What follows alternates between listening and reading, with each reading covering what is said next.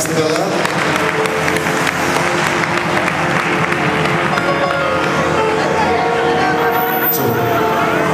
Και για την τιμή που μας κάνετε με την παρουσία σας. Σας ευχαριστώ θερμά μέσα από την ψηλή μου ειλικρινά που είστε απόψε εδώ. Σας εύχομαι καλή σαρακοστή που έρχεται. Καλή διασκέδαση. Θα περάσουμε όμορφα όσο πάει μέχρι το πρωί.